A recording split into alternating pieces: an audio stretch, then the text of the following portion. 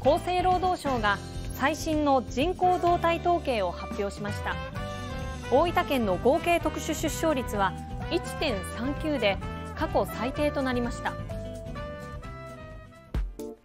1人の女性が一生の間に出産する子どもの人数を表した合計特殊出生率は大分では1.39で前の年から0.1ポイント下がり統計開始以来最も低い値となりました。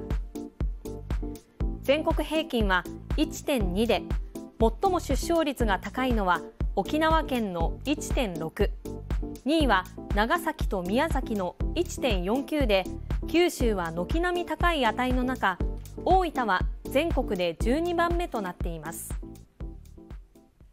私とか主人はとりあえずは一旦一人でいいかな。とは思ってて。それって何でですか？なんか働きたいのもあるんですけどやっぱ子供増えるとお金かかるっていうのもあるし。前はあの応援クーポン子育て応援クーポンってあったんですけどなかったんですよ。やっぱ結構あれ重要。